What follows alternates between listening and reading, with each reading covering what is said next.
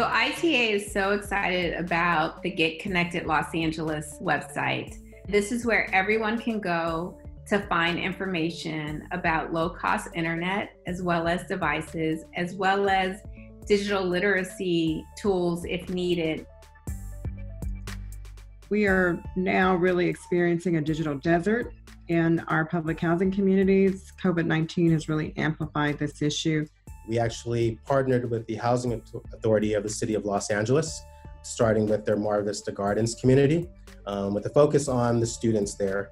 Uh, this pilot program with Starry at Mar Vista Gardens offers low cost internet, 5G, high speeds at very affordable rates.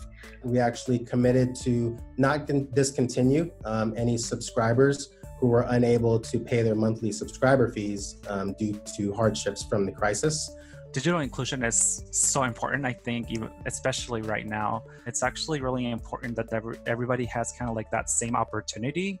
Internet connectivity is much like a utility these days just like running water electricity. It's a vibrant piece of how we live especially for our students. We partnered to provide 120,000 students with internet access who did not have any access at no cost to the students with families who would, could not otherwise afford it.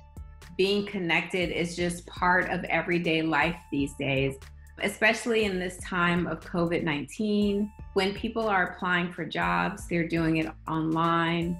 The way people are accessing their doctors are through telehealth.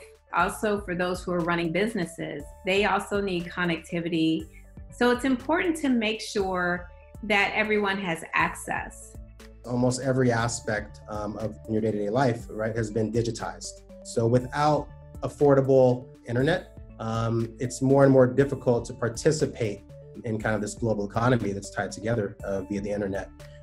Get connected, Los Angeles. Get connected, Los Angeles. Get connected, Los Angeles. Get connected, Los Angeles. Get connected, Los Angeles.